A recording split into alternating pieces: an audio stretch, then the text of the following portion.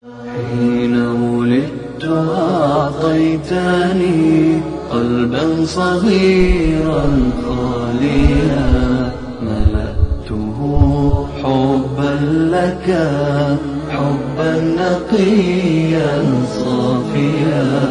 حين ولدت أعطيتني قلبا صغيرا خاليا ملأته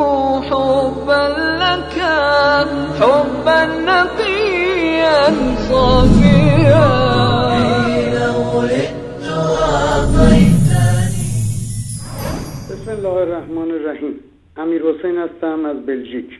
ضمن عرض سلام و ارادت خدمت برادران و استادان عزیز جناب آقای انصاری آقای سلیمانی و آقای سجودی می‌خواهم مطالبی را خدمت هموطنان خودم در ایران ارز کنم. در دنیا هر چیزی را با یک ترازو اندازهگیری و وزن می‌کنند. و در اسلام ترازو قرآن است. معیار قرآن و سنت رسول گرامی است.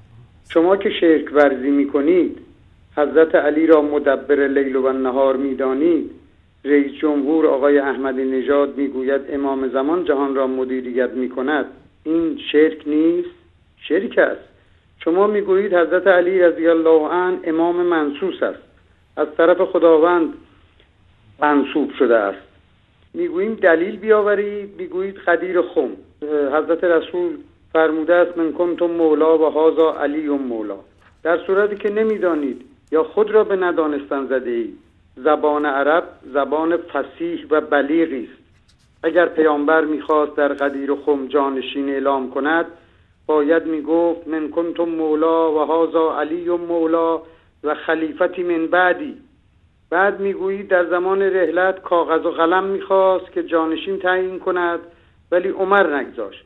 مگر در زمان رحلت و مریضی پیامبر علی و فاطمه در آنجا حضور نداشتند خب آنها کاغذ قلم می آوردن. ما موحدین که قبلا مشرک بودیم متوسل به قرآن و سنت رسول اکرم هستیم.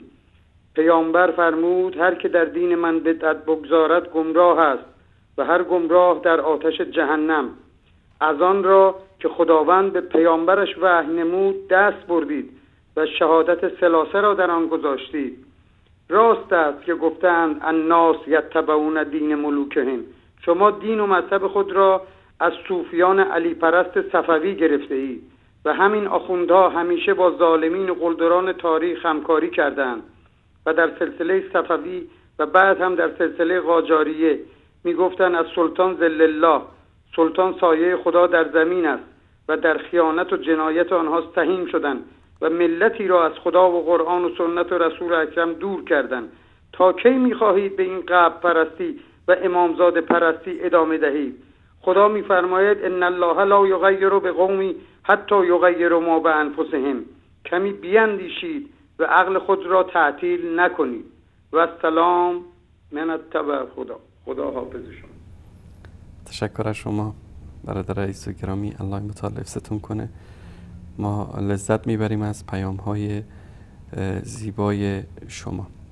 حين ولدت أعطيتني قلبا صغيرا خاليا ملأته حبا لك حبا نقيا صافيا.